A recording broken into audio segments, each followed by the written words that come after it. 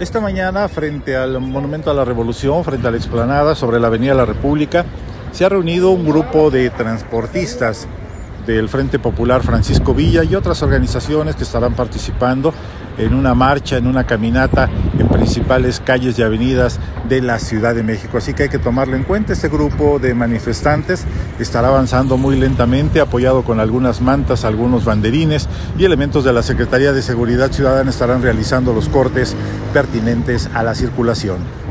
Reporte Índigo, Juan Manuel Padilla.